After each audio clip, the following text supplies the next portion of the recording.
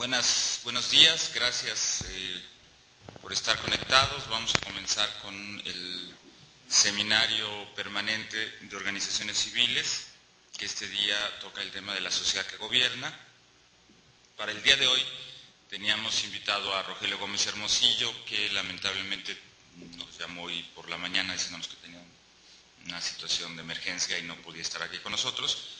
Pero bueno, vamos a presentar la otra parte del panel que tenemos preparado para hoy, que es un estudio académico. La idea era contrastar la parte más académica con la vivencial que Gómez Hermosillo pues, ha tenido durante muchos años. Pero bueno, será en otra ocasión.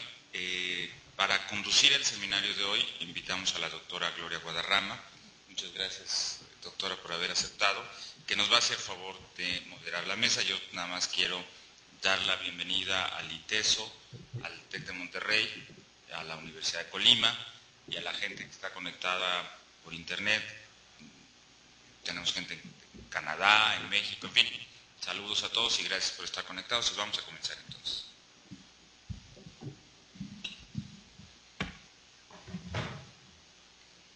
El Seminario Permanente de Estudios sobre Organizaciones Civiles es un esfuerzo de vinculación académica que ya tiene una trayectoria consolidada.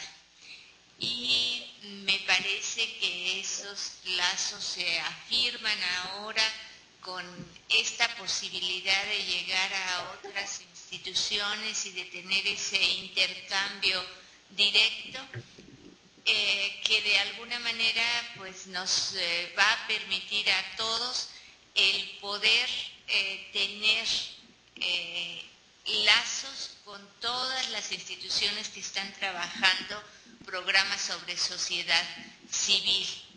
En este día dedicado a, abordar el tema la sociedad que gobierna y que considera pues un, panel de, de expertos en el, en el tema, pues me da mucho gusto tener la oportunidad de presentar al doctor Alejandro Natal, ustedes ya lo, ya lo conocen.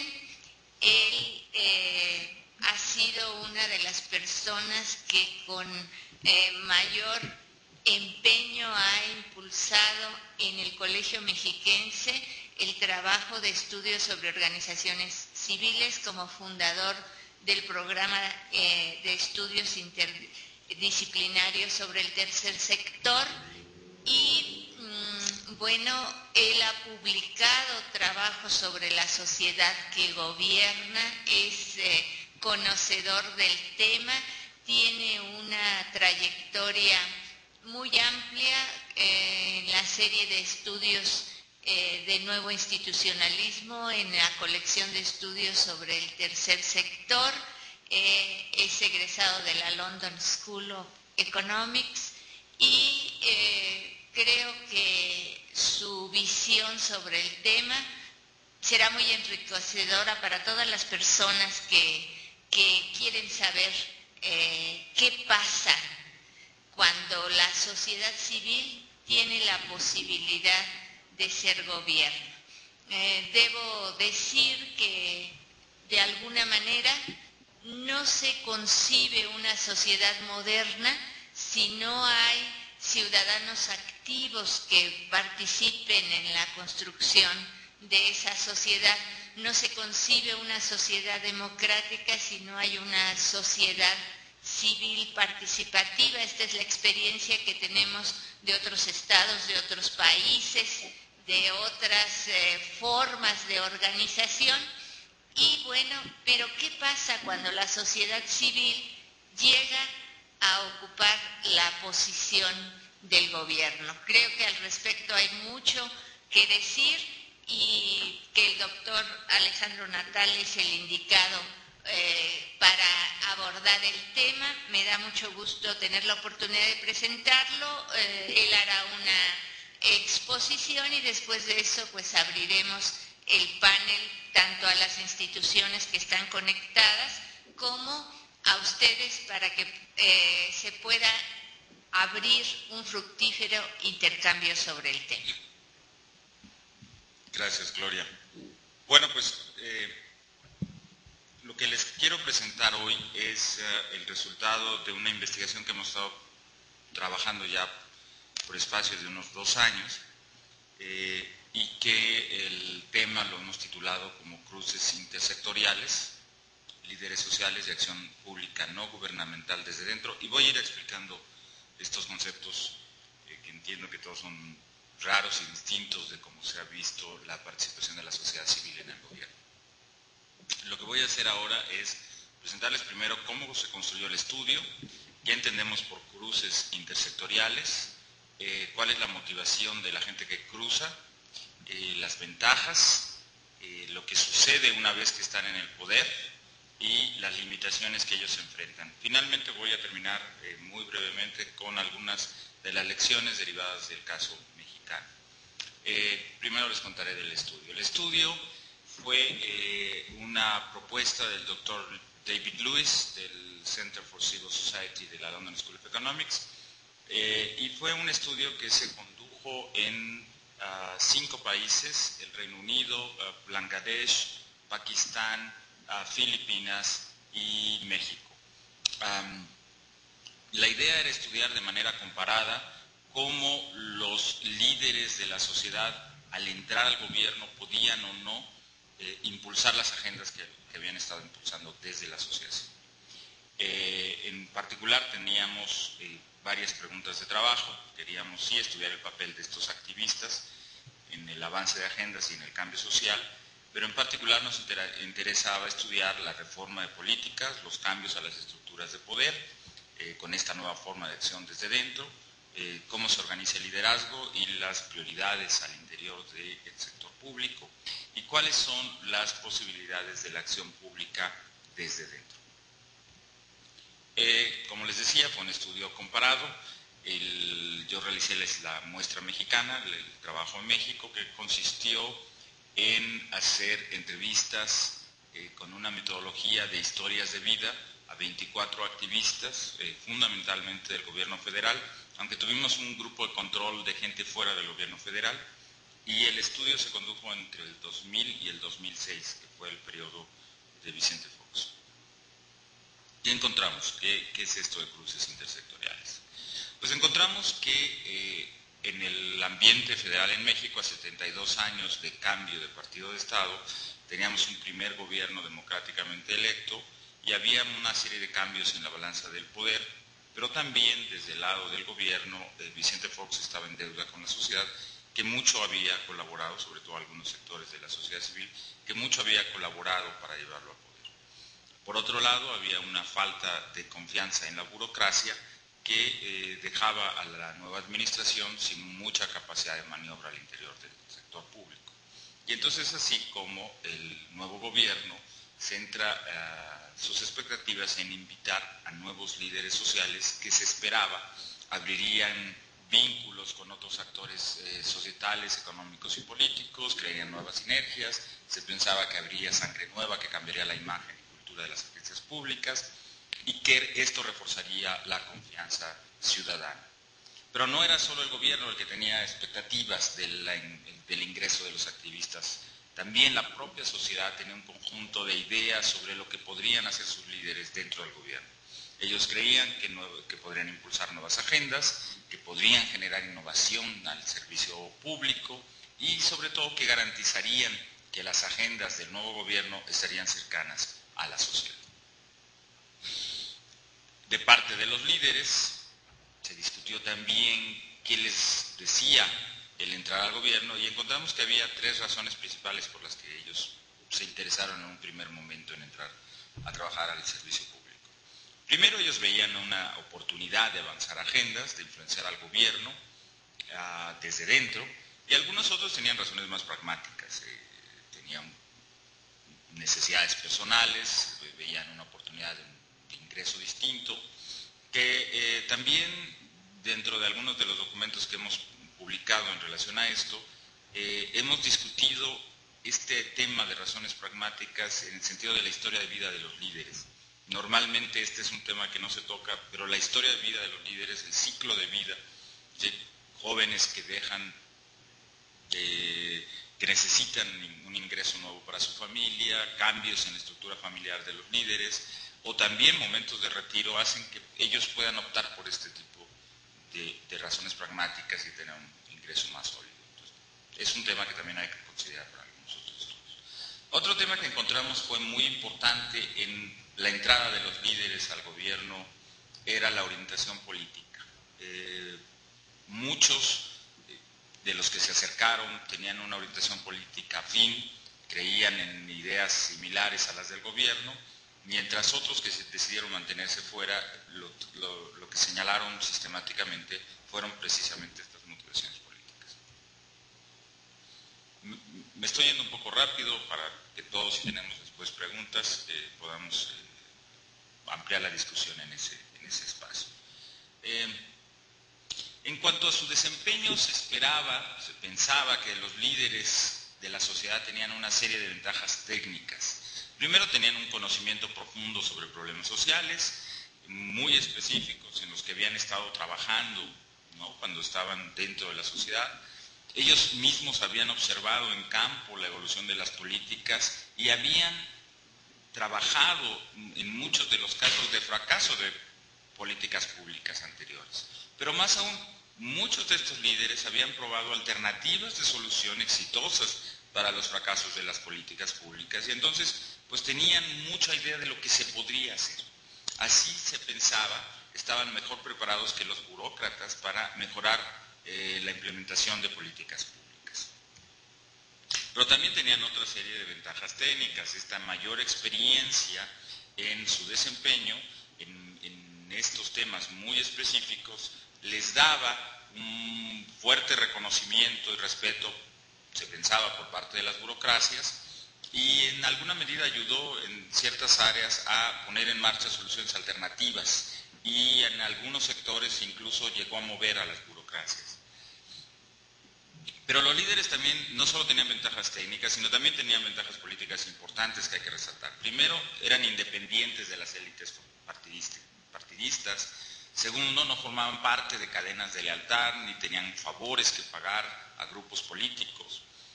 La mayoría de ellos no estaban interesados en seguir una carrera política y su independencia del protocolo y de las reglas informales de la política les daba mucho espacio de maniobra. Siendo más independientes, también podrían ser más agresivos, insistentes e interactuar y negociar con grupos políticos de diferentes ideologías. Sin embargo, todo esto era lo que se esperaba, lo que se suponía que iba a pasar, incluso esto es lo que la teoría dice que, sucede. Cuando nosotros hicimos el estudio nos encontramos que muchos de ellos, al día siguiente, incluso en algunos casos, referenciaron eso, de estar en la oficina, despertaron una realidad que era un poco distinta de lo que se esperaba. Y varios de ellos se dieron cuenta el día siguiente que habían fallado en negociar primero a la oficina correcta. Es decir, muchos de ellos estaban en áreas que no eran las propias, en las que no habían trabajado. Segundo, muchos no tenían la autoridad suficiente, estaban en un nivel en que eh, no podían impulsar sus agendas de la manera que ellos esperaban, porque no tenían la autoridad, porque tenían que esperar a eh, discutirlo con su jefe superior y en muchos de los casos estas discusiones se van a cabo cada mes, cada dos meses y entonces volvían los tiempos muy largos. Y finalmente la gran mayoría reportó que tenían problemas de recursos.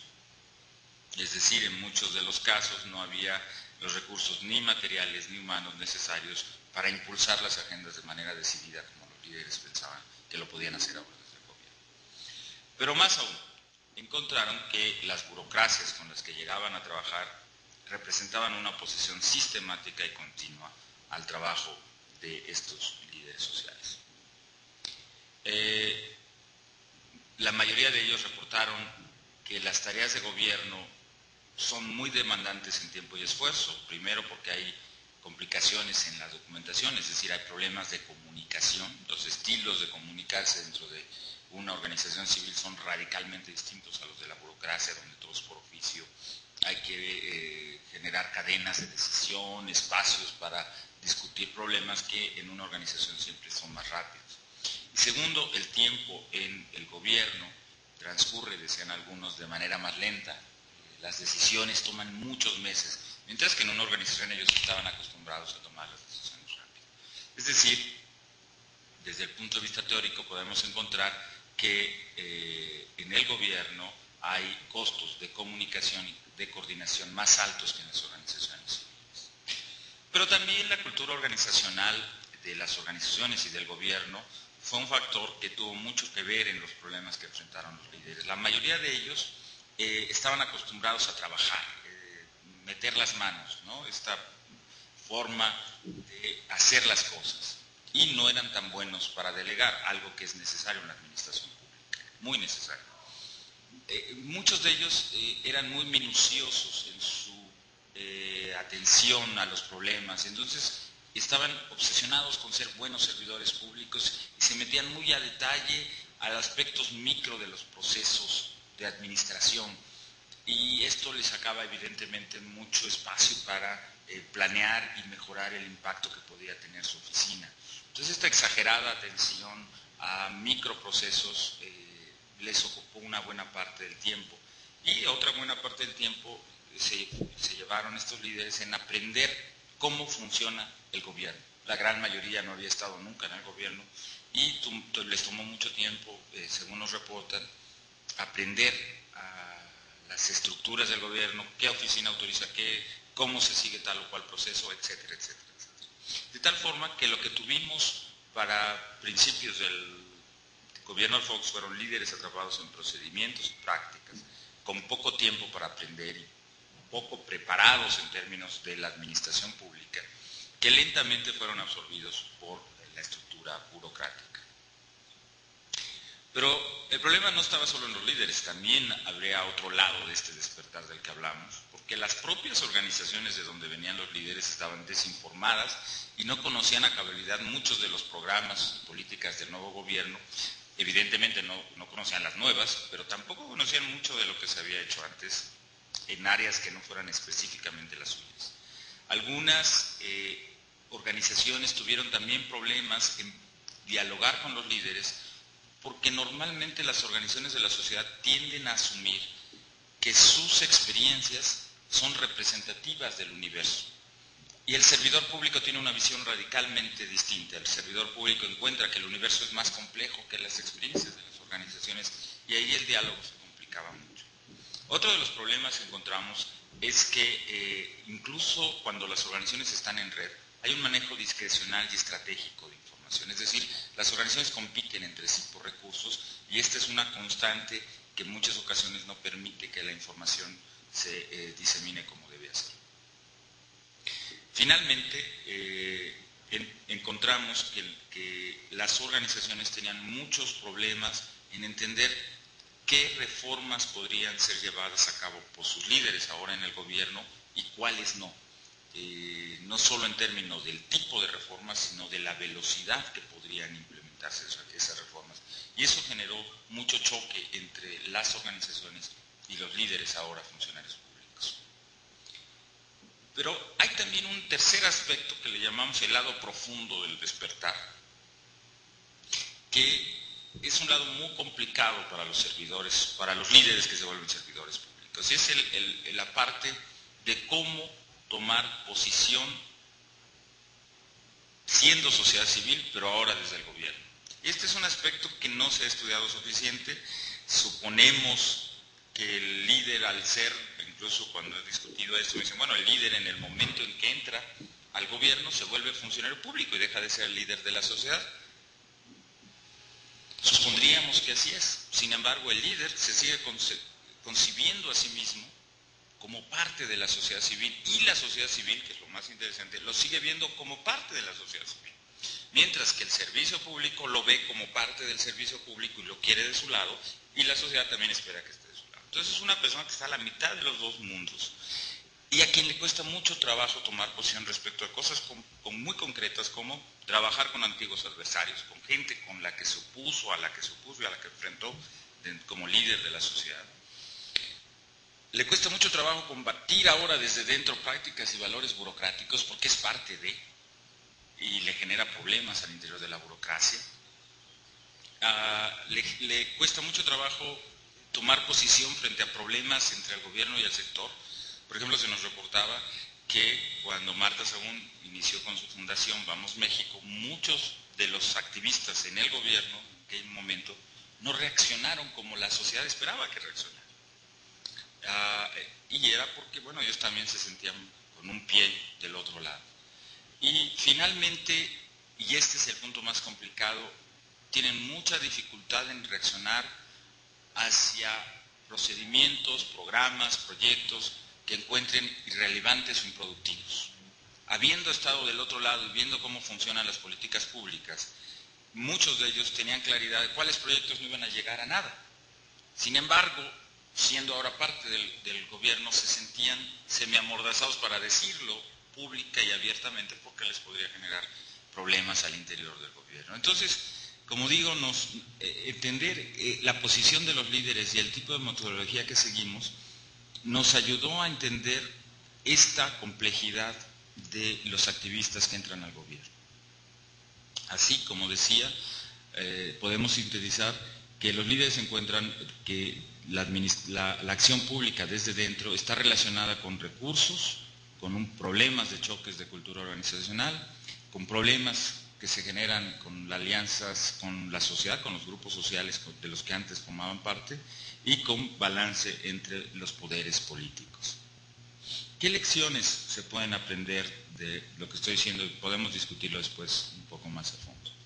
Pues la primera, el caso mexicano, los cruces fueron impulsados por una balanza de poderes históricas mucho más amplias como lo fue la tradición a la democracia. Y no solo es el caso mexicano, encontramos que esto mismo sucede en Bangladesh, en Filipinas, en Pakistán. Es decir, parece que momentos de transición, donde hay una recomposición de las fórmulas de poder, permite o atrae a los líderes a entrar a participar en la función pública.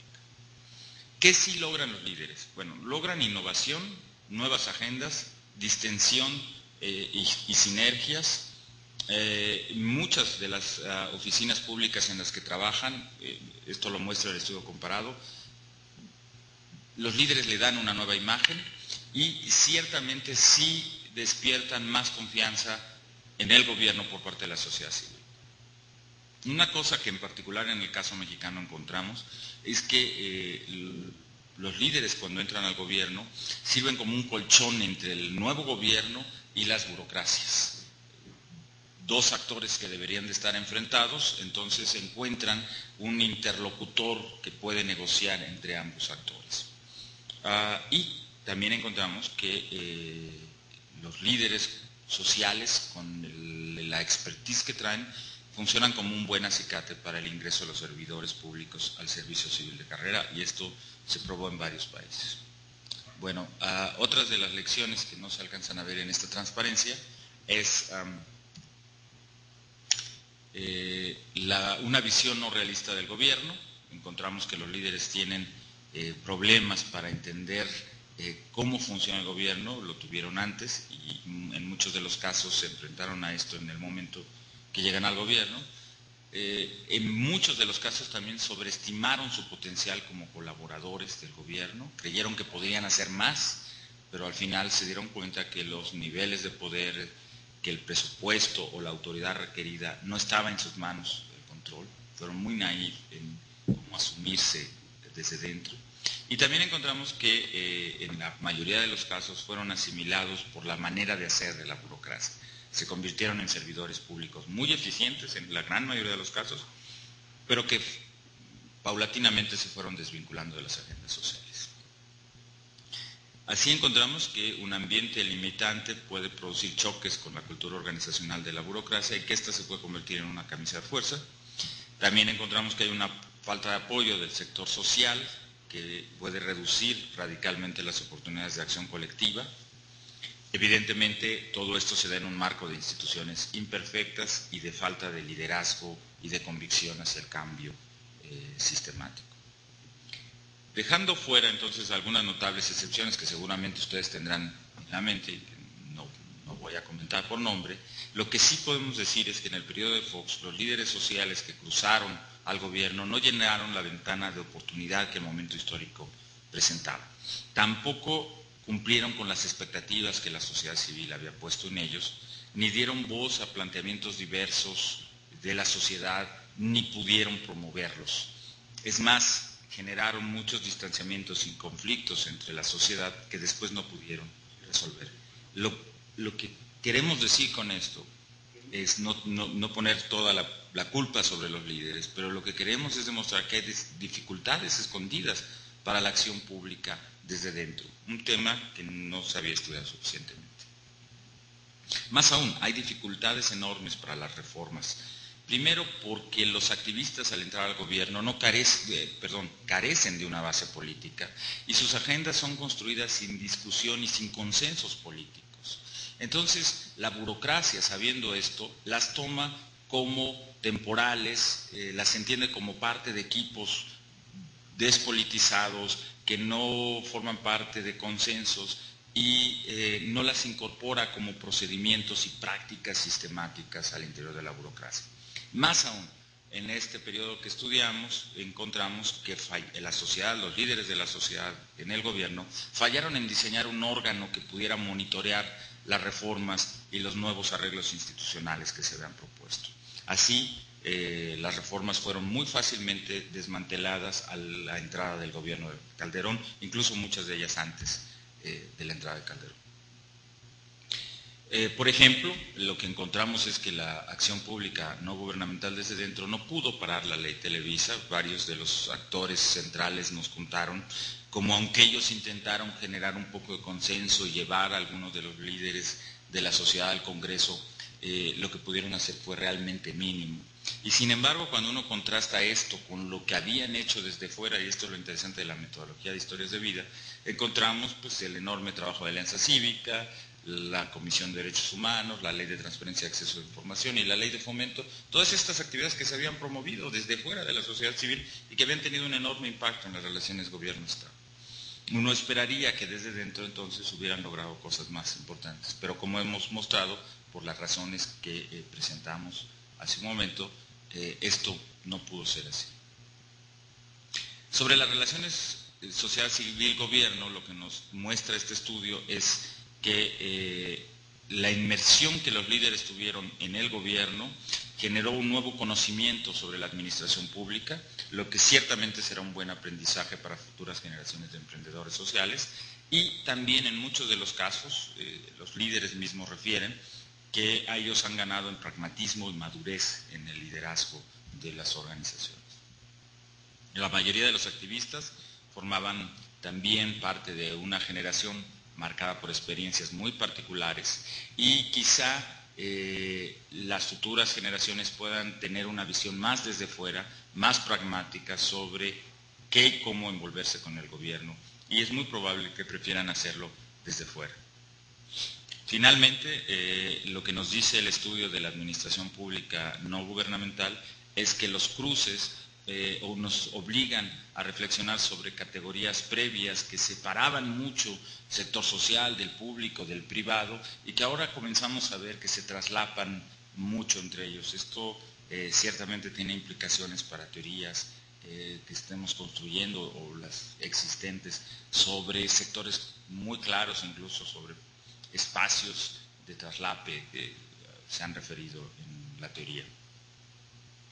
Pero los cruces intersectoriales también nos reflejan que las relaciones entre la sociedad civil y el poder se mantienen, que son permanentes, que existen grupos de interés, y que cada vez nos muestran que hay una mayor relación entre las organizaciones de la sociedad civil y los partidos. Eh, vemos lo que varios autores han comenzado así a llamar la política no tradicional, una forma ciudadana de hacer política, donde los ciudadanos eh, comienzan a, formar parte desde abajo de estructuras de poder. Puedo regresar a esto después. Bueno, pues eso sería en general los resultados del estudio. Perdón por ahorita rápido, eh, fue un estudio muy amplio y con muchas aristas, pero estoy seguro que podemos discutirlo con más profundidad los puntos particulares que les interesen. Muchas gracias. Pues le agradecemos al doctor Natal su interesante eh, participación presentándonos el resultado de un trabajo de investigación que seguramente eh, fue muy exhaustivo en términos de la entrevista y de saber eh, cómo percibieron los propios líderes de organizaciones su incorporación al gobierno. Yo creo que hay muchas lecciones y muchos puntos que debatir sobre, sobre esta exposición. Eh, creo que Primero, pues nos deja ver que no podemos hablar de la sociedad civil como algo homogéneo y que al decir que la sociedad civil llega al gobierno, tenemos que ubicar quiénes llegan al gobierno, eh, qué dimensión tiene el movimiento que eh, hace que algunas eh, líderes de sociedad civil lleguen a ocupar encargos en el gobierno y qué posibilidades tienen de actuar en los intereses que anteriormente sustentaban su liderazgo. Porque si decimos que la sociedad civil llega al gobierno, pues el primer punto a discutir es si en el momento que llega al gobierno deja de ser sociedad civil. Y después, si esa incorporación al gobierno implica ese cambio de, banderas, si es eh, quizá cooptación y no triunfo de la sociedad civil, creo que habría muchas cosas que se podrían discutir muchos eh, niveles que se pueden apreciar en la exposición que ha hecho el doctor Natal y que eh, serán sin duda eh, puntos en los cuales la opinión y la participación de ustedes es muy importante. Entonces, abrimos la sesión de comentarios para discutir la, no solo los datos, sino pues yo creo que la posición de la investigación del doctor Natal que nos ubica mucho en todos los debates que hay al respecto de los estudios sobre sociedad civil y de la forma en la que es posible abordar e, estos estudios está abierta la mesa para su intervención.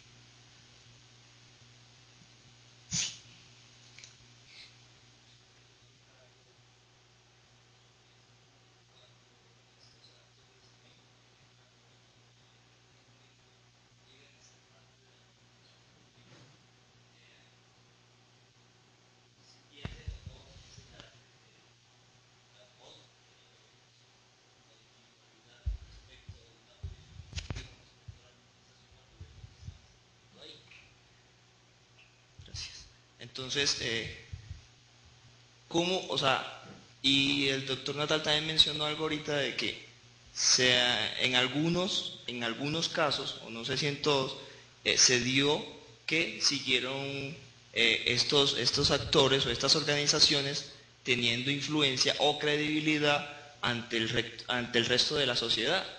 ¿sí? Porque al, entrar estas organizaciones a la administración pública, a mi, parecer, y bueno, desde una experiencia que tuve en Colombia, eh, es que pierden cierta credibilidad. La que han ganado la pierden de casi que de tajo. ¿sí? Y lo que yo alcanzo a percibir es que esas organizaciones eh, entran en un periodo como de reconquista inmediata por esa sociedad civil. ¿sí? O sea, ¿cómo, se puede entender o cómo, cómo hicieron estas organizaciones para que eh, aún mantuvieran esa credibilidad? Si a través del proceso fueron, fueron formando, siguieron aún en, su empeño o en su trabajo, en su tarea que tenían antes, ¿cierto? O se, o se dedicaron simplemente a mantener esa credibilidad.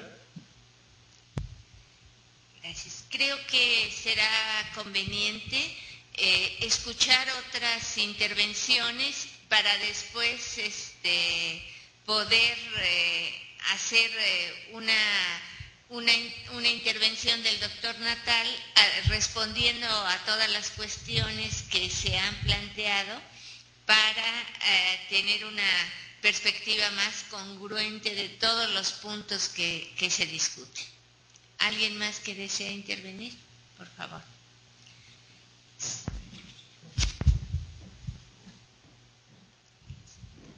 Eh, pues la pregunta se refiere a, bueno, saber que, bueno, en el gobierno de Vicente Fox sí fueron incluidas algunas organizaciones de la sociedad civil, bueno, principalmente a través de sus líderes. Eh, eh, sobre todo la, pregunta es, ¿qué tipo de organizaciones son las que, las que llegaron a, ser representativas en esta participación con el gobierno de Fox? Sabemos que, como se dice, la, sociedad civil no es una, no se puede entender este conjunto de organizaciones como un conjunto homogéneo. Y, claro, eh, puede entenderse desde, desde una perspectiva eh, simple, puede entenderse que tal vez las organizaciones eh, que, ingresaron tal vez tengan un corte desde, o de acercamiento a la misma política que el, Partido de Acción Nacional ha tenido, o, si estos líderes este, tienen alguna otra, algún otro tipo de, de línea política, tal vez desde la izquierda, o bueno, es, la pregunta es, eh, se refiere a eso, ¿no? específicamente. Y por otra parte, ¿qué, esperar? O qué, bueno, esto sería tal vez ya más como la conclusión de, qué esperar, qué, es lo que se espera participación de los, de los líderes. Si esta experiencia con el gobierno de Fox eh, puede entenderse como una experiencia que puede trascender o que puede ser enriquecedora para una experiencia futuro, tal eh, habría, sería necesario ver o, analizar cuál ha sido el proceso de esta participación con el gobierno de Calderón, pero también poner eh, sobre la mesa qué se puede hacer para mejorar esta, esta participación de, estos líderes de, las organizaciones de la sociedad civil eh, en futuros gobiernos, ya sea del mismo partido político, de otro partido político, eh, pero finalmente, ¿cómo se podría consolidar más esta participación? Tal vez con una ley, no sé, eh, habría que preguntarnos eso. Gracias.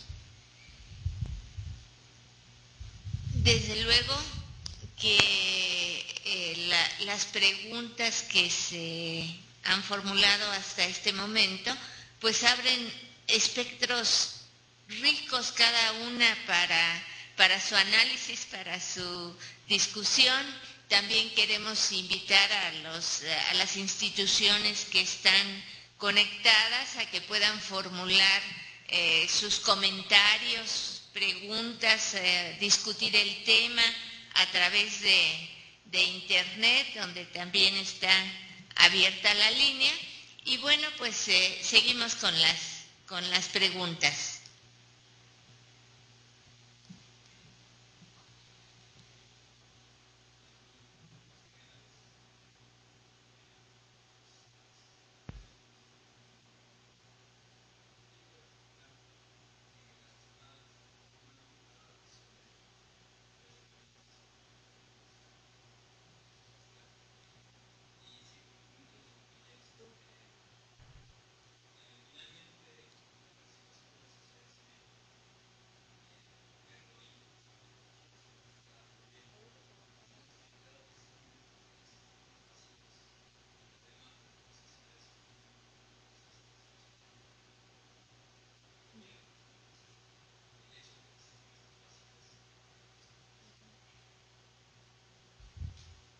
Justifica el hecho de que de alguna u otra manera eh, participen las, este, las, organizaciones, la sociedad civil, en concreto las organizaciones no gubernamentales.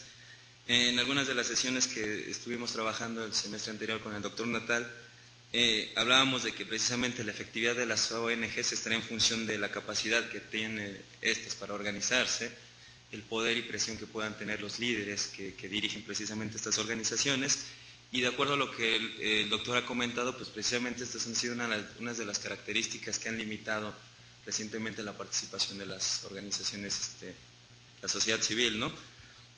Eh, mi pregunta es sobre esta línea, ¿no? ¿hasta qué punto se puede justificar todavía la participación de la sociedad civil en este vínculo de las relaciones Estado-Poder, cuando eh, recientemente con este proceso de apertura democrática en México ha generado que los estados y los gobiernos locales tengan más poder y más peso político y, justifiquen el principio de subsidiariedad para ser más eficientes. Eh, es decir, eh, el, problema que ellos mencionan es que no existía, existían estos vacíos en la capacidad de satisfacer las demandas eh, de la sociedad, porque finalmente no existía ese principio de subsidiariedad. Y eso era lo que daba pie a que aparecieran las organizaciones civiles las organizaciones no, gubernamentales, ¿no? precisamente para llenar esos espacios. Ahora con estas reformas que se han aprobado, donde se dan mayores potestades a los gobiernos locales y estatales, ¿hasta qué punto es justificable el que la sociedad civil se integre no con las ONGs o la sociedad civil, sino con los estados o gobiernos que ahora ya tienen más peso y mayor capacidad de decidir y tratar de satisfacer esas demandas de la sociedad. No sé si me haya explicado. Gracias. Vamos a, hacer un corte aquí para responder esta primera eh, fase de las preguntas para dar oportunidad también a que llegue alguna otra de, del vía internet y eh, continuamos la discusión. Le pediría entonces al doctor Natal que abordara esta, estos puntos del debate. Gracias. Bueno, sí, hay, mucho que decir. el, tiempo es muy breve. Voy a tratar de comentar algunos aspectos relevantes. En realidad, em, creo que muchas de las preguntas dan para, para mucho más. Ciertamente la sociedad civil no es algo homogéneo y una de las cosas que más nos asombró en el estudio es encontrar que quienes llegaron al gobierno no provenían de un sector específico de la sociedad. En nuestra muestra estuvo compuesta por gente que venía de la izquierda, por gente que venía de organizaciones cercanas sí al empresariado, por gente que había estado en movimientos sociales eh, muy radicales, algunos de ellos, de estudiantes, por gente que había incluso formado parte de la guerrilla. Es más, por gente que había participado como organización o movimiento social con grupos activamente con grupos de la izquierda. Entonces, es muy interesante cómo el momento de transición política dio oportunidad a la entrada de un sector amplio de la sociedad civil, que sin embargo, y esto es lo más interesante, no logra, como yo ya decía, tener la suficiente voz ni hacer ah, una acción colectiva que pudiera mm, presentar distintos resultados de acción pública desde dentro. Eh, Ciertamente la mayoría de, los actores tuvieron muchos problemas en responder a los intereses de sus, organizaciones. Eh, en muchos de los casos no solo perdieron la credibilidad de otras organizaciones con las que no pudieron trabajar, sino perdieron la credibilidad de sus propias organizaciones por una serie de factores muy interesantes. Primero, por los propios que ya he comentado aquí, porque tenían este problema de identidad, por decirlo de alguna manera, ¿no? y, siendo servidores públicos tenían que ver eh, la representatividad de los universos con los que trabajaban las organizaciones, tenían que mantener ciertos balances y pesos políticos con otros actores de la administración pública, pero también porque, como ellos nos relataron varias veces, muchas de las organizaciones los veían como sus empleados, pero ahora dentro del gobierno que les iban a ayudar a conseguir recursos. ¿no? Entonces, esto, esto fue algo que las mismas organizaciones no pudieron en muchos casos manejar con madurez y los líderes, pues estando desde dentro, tenían que tener una política igual y entonces muchas organizaciones nos reportan, se quejaban, sea, ¿cómo puedes trabajar con fulanito? ¿Cómo puedes darle dinero a Provida que que está en contra de lo que nosotros hemos hecho. ¿no? Sin embargo, el trabajo de esta persona pues, tendría que ser más democrático de lo que es el trabajo en una organización que puede muy bien tener su ideología y servir solo a los intereses que, que Entonces, ciertamente es un, y este es el punto que, eh, uno de los puntos nodales de la investigación, ciertamente este aspecto de ser servidor público, pero mantener un fuerte vínculo con la sociedad, dificulta mucho la, actuación de los líderes cuando son servidores públicos. Decía Gloria, y este es un tema de mucha discusión, pues veo que da para una discusión teórica interesante que, debemos de comenzar a hacer. En teoría, cuando los líderes entran al servicio público, pues dejan de ser sociedad civil. Bueno, pues ellos se deberían de dejar de considerar sociedad civil en primer lugar y la sociedad debería de, dejarlos de ver como sociedad civil y ninguna de las dos cosas ocurre, ¿no? Entonces se da, como decía, un choque muy interesante y un vivir entre dos mundos que dificulta mucho la acción pública. Ah, otro de los temas que surgieron en sus comentarios fue el de la cooptación. Bueno, ¿estamos hablando de acción pública o estamos hablando de cooptación? Y este es un tema interesante que es muy complicado definir porque, digamos, en teoría cooptación implica un proyecto del poder o de la administración por traer a los líderes y con eso reducir la capacidad de voz de la sociedad civil. Hasta donde nosotros encontramos, por lo menos en el caso mexicano, no hubo un proyecto explícito de cooptación. Eh, creo que muchas de las cosas que sucedieron en el gobierno Fox fueron más ideas y, apagar fuegos inmediatos y creo que más bien el problema fue que no encontraban un agente de confianza para ciertas posiciones. Y por eso es que llegan los líderes. Si después fueron cooptados o no, eso es algo que todavía hay mucho que discutir, ciertamente. Ah, en fin, bueno, hay muchas más cosas. Eh, qué tipo de organizaciones. Este es un tema de lo más interesante. Como decía, la entrada de los funcionarios, de los líderes al servicio público, venían ellos de diferentes sectores, muy distintos sectores.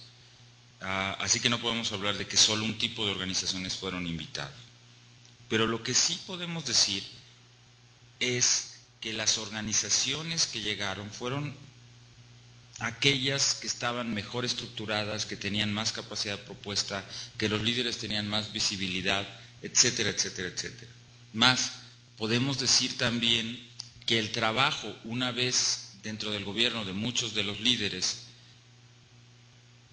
fue siempre más fácil con aquellas organizaciones bien estructuradas que con las menos estructuradas.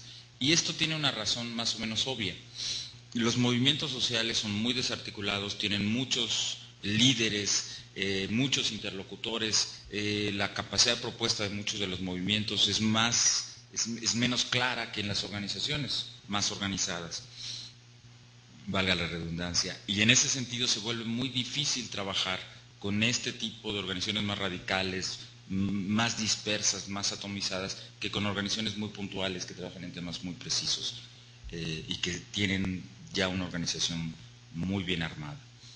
Ah, el tema de la ideología también fue un punto eh, de desencuentro. Hay muchas organizaciones que preferían eh, mantenerse distantes del gobierno eh, por cuestiones ideológicas y esto también fue algo que se, presentó en todas nuestras entrevistas prácticamente. ¿Qué se espera a futuro? Bueno, como decíamos, hay muchas lecciones aquí para entender mejor cómo será la participación de la sociedad en las tareas de gobierno. Eh, si debemos de hablar mejor de estructuras de cogobierno, como Ackerman y otros eh, han señalado, o si debemos de pensar en una ah, acción pública donde el ciudadano ingrese a la función pública de distintas formas. Eh, ciertamente este es uno de los temas sobre los que hay que trabajar mucho, pero lo que sí podemos esperar, creo que es lo que ha pasado en algunos otros países como Chile, por ejemplo, es que la ciudadanía comienza a tomar una posición de más distancia y a preferir trabajar con el gobierno desde fuera que desde dentro. Ah, finalmente, la participación justifica o, la participación de los líderes llena los vacíos eh, dejados por el gobierno, Pues sí, en alguna medida los líderes entraron para impulsar agendas y temas que no se habían impulsado o no se habían desarrollado como la sociedad esperaba. Pero esto es obvio en momentos de transición, lo vimos en Pakistán, lo vimos en Filipinas y es el mismo caso mexicano. si con su actuar continuaría eh, favoreciendo la subsidiariedad, pues, pues, es un tema que todavía no podemos resolver el día de hoy, ¿no? Yo creo que la subsidiariedad por sí misma no, es un problema. Cuando eh, es de más, entonces es cuando podemos hablar de un problema. Creo que eh, muchas organizaciones tienen que ser subsidiarias por la propia naturaleza de las acciones que hacen. Eh, pero lo que debemos de asegurar es que las organizaciones mantengan su voz. Y lo que sí encontramos en el caso de los líderes que entran a la función pública es que en lugar de que la voz de los líderes o de las organizaciones o de las causas sociales aumente, sucede todo lo contrario. La voz, la capacidad de expresar agendas, la, capacidad de discutir temas se reduce y más las organizaciones quedan descabezadas sin un recurso humano muy importante que era el de liderazgo y este sí es, un, es algo que afecta mucho a las organizaciones en su.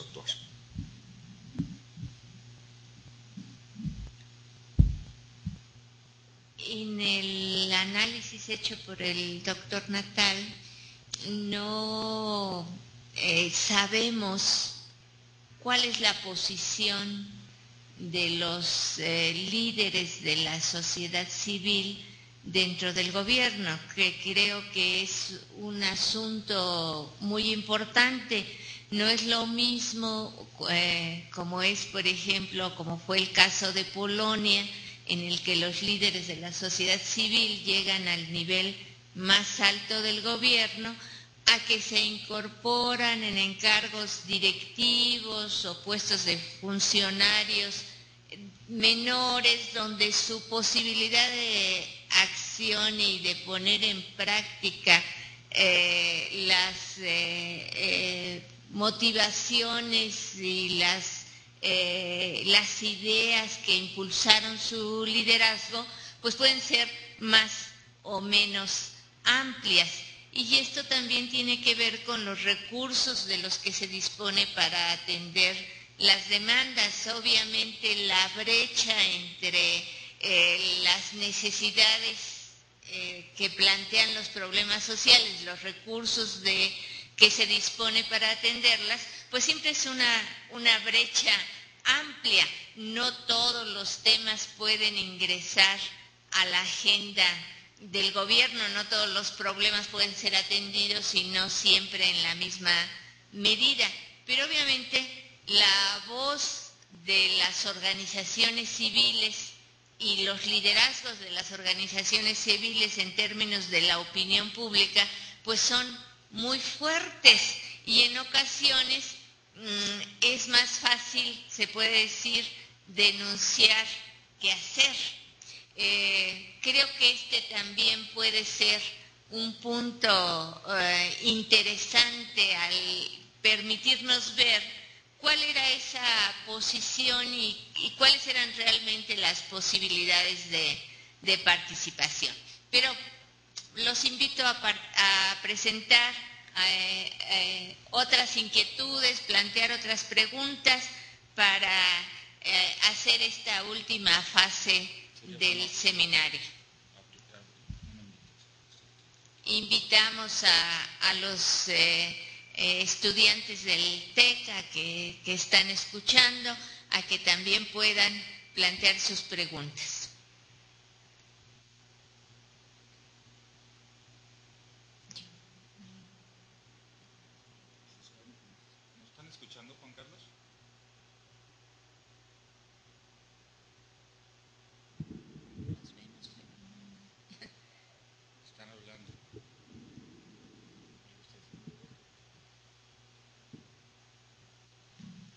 escuchamos, Alberto.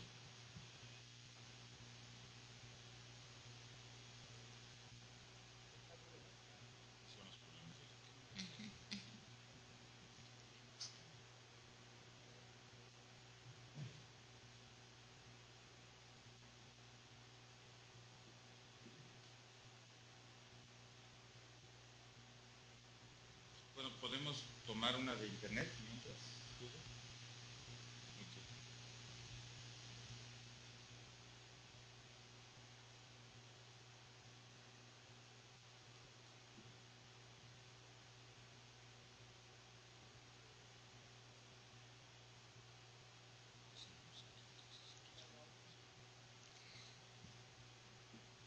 En vista de que al parecer hay algún problema con el audio allí en el este? aula del TEC, ahora sí, ya escuchamos. Si eh, eres tan amable de volver a plantear la pregunta. Sí, es un comentario con dos partes breves.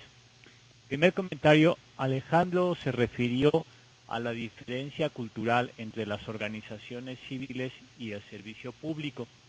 Yo creo que ahí hay un punto que, todavía falta ahondar más. No conozco a detalle el, el estudio de Alejandro, pero creo que podría hacerse también alguna comparación con el caso de los empresarios que al inicio participaron de alguna forma en el gobierno del presidente Vicente Fox y que eventualmente también abandonaron el servicio público.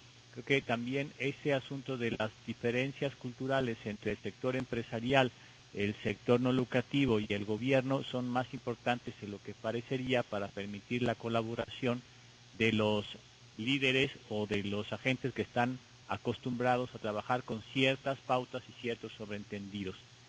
Y la otra es eh, preguntarle a Alejandro si no será que también tiene cierta influencia la capacidad de los líderes para operar con cierto tamaño de organizaciones.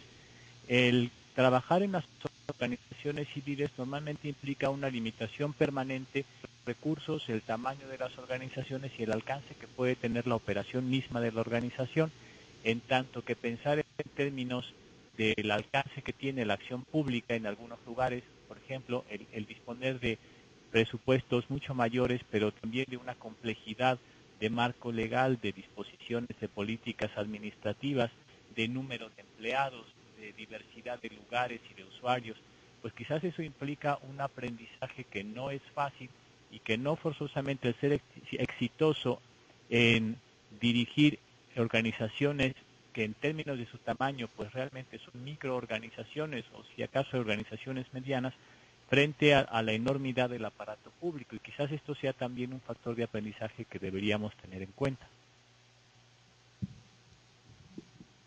Creo que ha sido muy interesante el, planteamiento en términos de eh, esta consideración de lo que es ser exitoso en la, en la intervención en el, en el gobierno, de los parámetros con los que podríamos medir esa participación de la sociedad civil, que ahí, pues de los líderes de la sociedad civil, que ahí hay todavía un reto.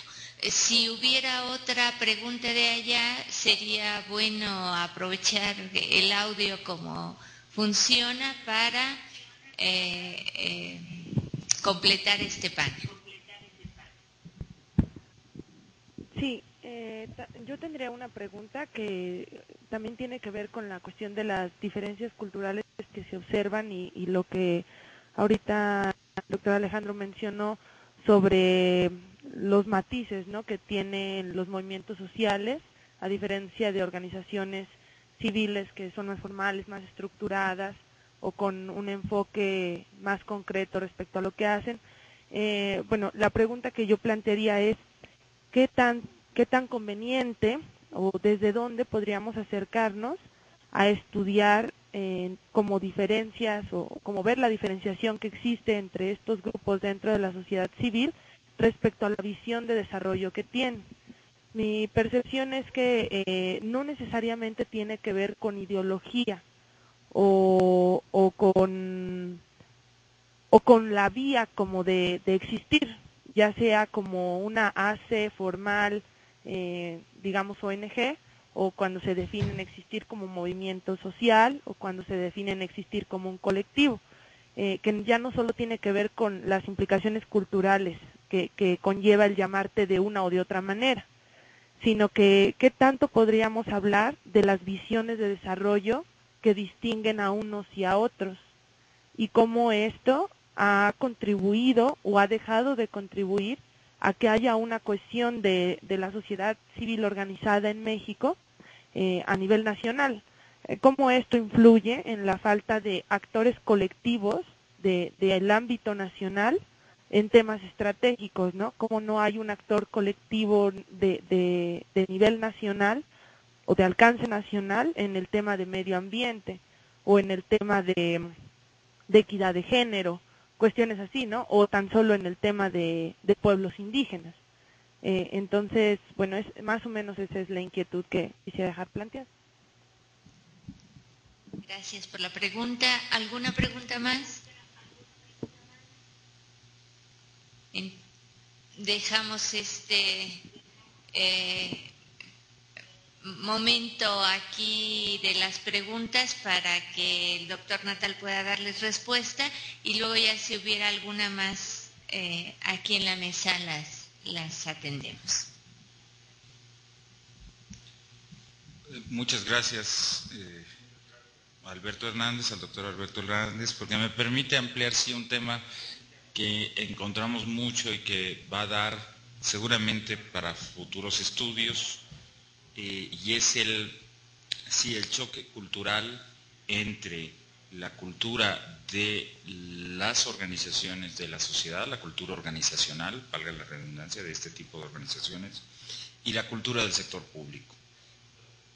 Ah, ciertamente son dos formas de actuar muy distintas, radicalmente distintas, que obligan a procesos de delegación, a reconocimiento de autoridad, a procesos de toma de decisiones que son juxtapuestos en muchos de los casos. ¿no? Las organizaciones, los, procesos de decisión normalmente los toman una o dos personas, tres si acaso. ¿no? Eh, son organizaciones muy reducidas, pequeñas, con un eh, espacio de acción mm, limitado, donde lo que se implementa es eh, un grupo pequeño de temas eh, muy, muy, muy, muy precisos. Mientras que en el sector público, como bien decía el doctor Alberto Hernández, estamos hablando de otro tipo de recursos, de otra capacidad de alcance, evidentemente de una complejidad legal. Muchos de los eh, entrevistados nos hablaban de eh, su dificultad en entender los vericuetos legales y todas aquellas cosas que podían afectarles en el futuro, las responsabilidades que podrían adquirir. Y entonces eso era una de las cosas que primero los congelaba. Y bueno, si yo hago este oficio puedo ser eh, revisado por evaluación, por la Contraloría, por el área tal o cual, y entonces eso era un primer punto para que no actuaran. Y dijeran, bueno, primero tengo que revisar en los reglamentos, la legislación, nos hablaban de que en eso pues, se, habían llevado unos meses en entender cuál era eh, su posibilidad de actuar de manera legal. Pero luego también los procesos de toma de decisiones en el gobierno son, son bastante más amplios y extensos, involucran una cantidad enorme de actores, etcétera, etcétera, etcétera. Ah, sí, evidentemente ahí encontramos en este estudio que hay procesos de aprendizaje que se dan de los líderes que entran al gobierno, una vez que salen del gobierno, ven al gobierno con ojos radicalmente distintos y, ven exactamente lo que comentaba la doctora Guadarrama, ven que no es lo mismo cuestionar o criticar que resolver los enormes problemas que hay desde dentro. Más, se dan cuenta que su espacio de acción, el universo que ellos creían tan representativo y tan fácil de atender, es bastante más amplio y bastante más complejo de lo que ellos mismos esperaban. Y encuentran que desde la acción pública los actores a los que hay que enfrentar son más numerosos y con muchas más capacidades de las que ellos mismos enfrentaban. Pero más, y esto a mí me parece que es uno de los mejores aprendizajes que hubo, reconocen la importancia del consenso político. O sea, reconocen la gran mayoría de ellos, cuando se los preguntábamos, les preguntábamos qué era lo que más en realidad les había impactado de su paso por el gobierno, decían, bueno, entendimos que para que una reforma sea sustentable, tiene que ser producto del consenso entre varios actores políticos. Algo que desde la sociedad civil no siempre se entiende. Se supone que se persiguen agendas eh, causas sociales, pues precisamente por eso, porque son causas sociales que son buenas per se. Pero dentro de la política, la construcción de agendas no se da por los temas que son buenos per se, sino por cómo las fuerzas logran generar consenso o no. Y esto creo que es un aprendizaje muy importante y que en otros países, un poco volviendo a la pregunta de Carlos, que en otros países ha generado mucha pragmaticidad en los actores de la sociedad civil que deciden ingresar al gobierno. Van por un periodo de tiempo breve, negocian una agenda muy específica, con una cantidad de recursos muy etiquetados hacia lo que quieren hacer. Y ciertamente eh, regresando también a, lo que comentaba la doctora Guadarrama del caso Polonia, que cuando la, la sociedad llega a primer nivel, dice, bueno, la autoridad ahí es evidente que puede tomar decisiones y puede impulsar agendas de un modo que no se puede hacer en espacios donde eh, no se llega a los primeros niveles o se llega a niveles, eh, digamos, de mandos medios. Eh, sí, bueno, ciertamente, pero una de las cosas que este estudio comparado muestra es que, por ejemplo, en el Reino Unido, los líderes sociales que deciden ingresar al gobierno van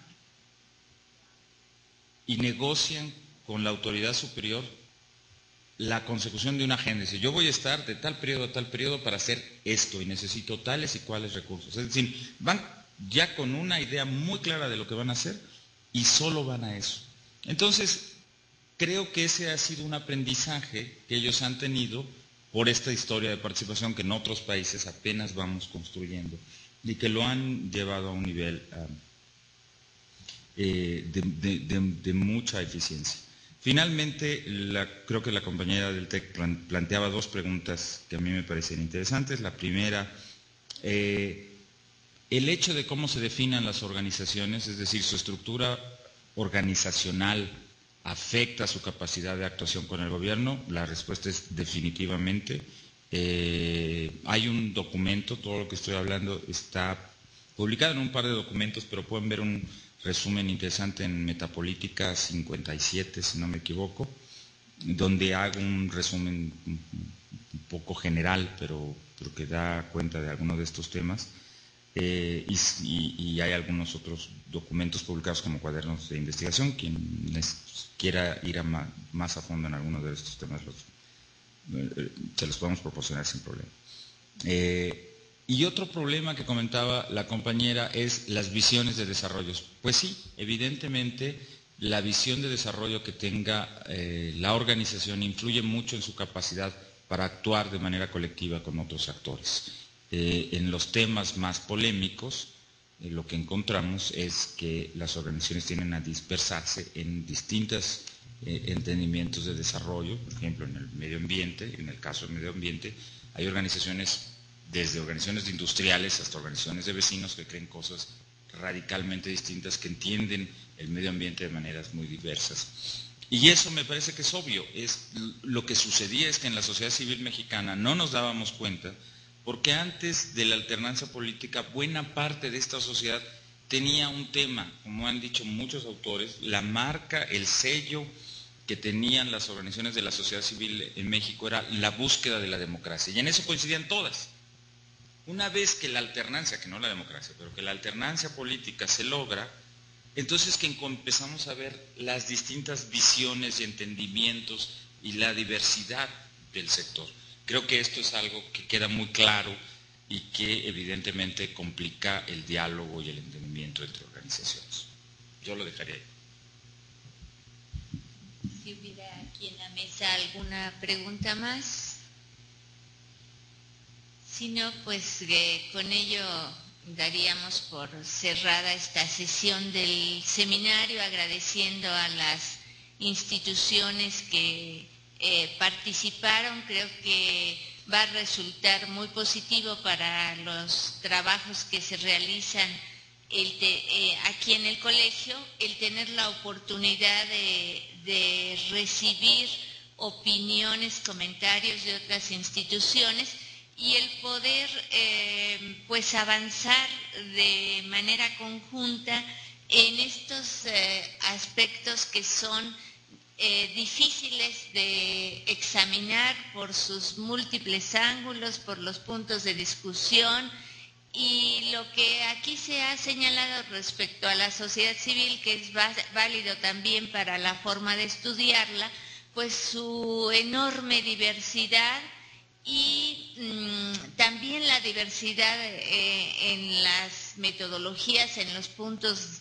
en los que se puede obtener consensos al respecto y desde luego conocimientos que pudieran ser eh, más generalizables y tener eh, el acuerdo, el reconocimiento de los, de los estudiosos. Muchas gracias a todos por su participación en el seminario y pues vamos a continuar trabajando sobre estos temas. Esperamos con la participación de todos ustedes. Muchas gracias a todos y especialmente al doctor Natal por habernos dado la oportunidad de conocer este estudio. Creo que es de los poquísimos que hay en el país al respecto de ese desempeño de los liderazgos de la sociedad civil en el gobierno y que eso lo hace un estudio valioso, como él lo mencionó, hay, eh, eh, pueden ustedes eh, abundar en él, en ese número de, de metapolítica reciente y creo que eso permitiría conocer con más detalle algunas de las cuestiones que aquí se han debatido. Nuevamente muchas gracias a todos, muchas gracias doctor Natal por la participación. Queremos agradecer la participación también a ustedes. Gracias. Gracias.